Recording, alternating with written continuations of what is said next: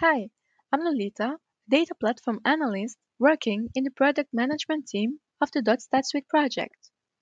This video is for business owners who want to generate charts in the .stat Suite Data Explorer.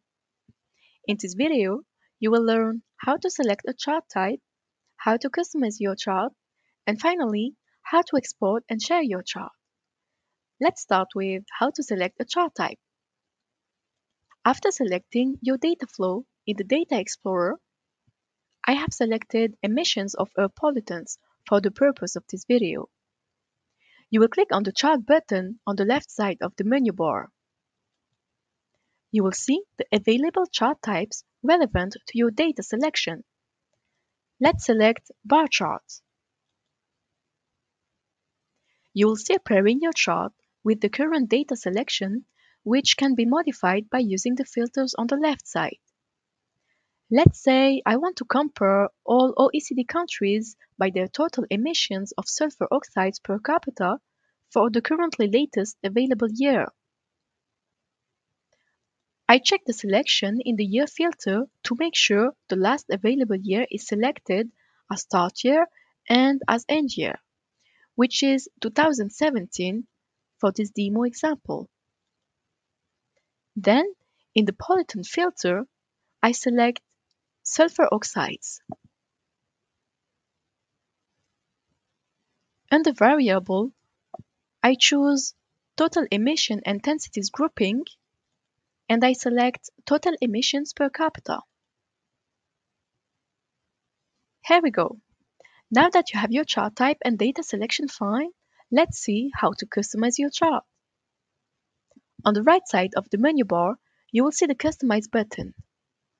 On click, it opens a panel showing the chart elements you can customize.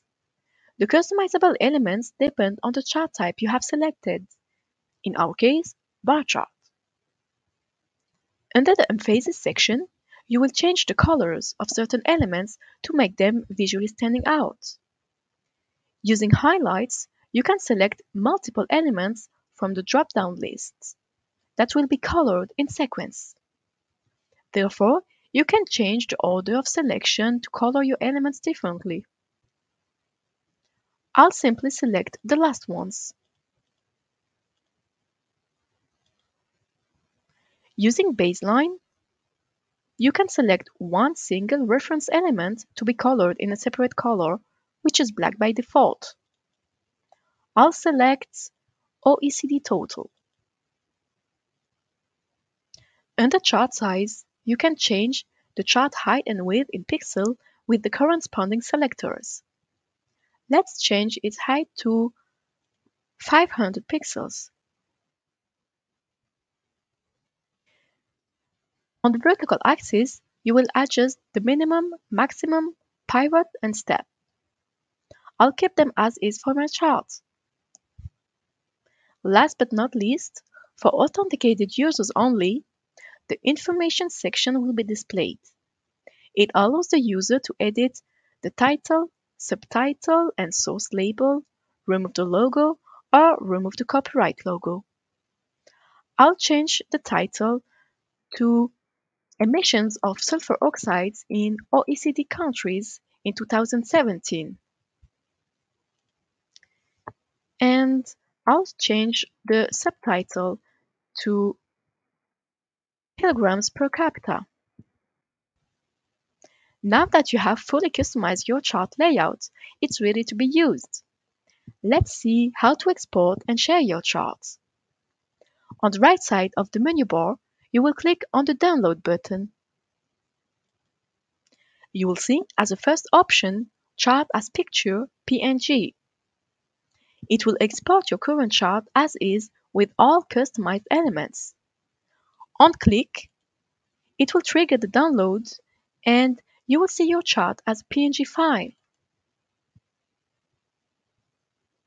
But instead of downloading your chart, you might want to embed it in your web page or share it on social media. Let's see how to do that. You will click on the Share button. It will open a panel where you will enter your email address. After clicking on Request URL and Embed Code, You will receive the necessary instructions in your mailbox to access the generated URL for your chart and associated embed code. For more information about the share option, check out our video How to use the share feature. Now, you're ready to make the most out of the chart feature. Thank you for watching this video. For more content, check out our DotStat Academy.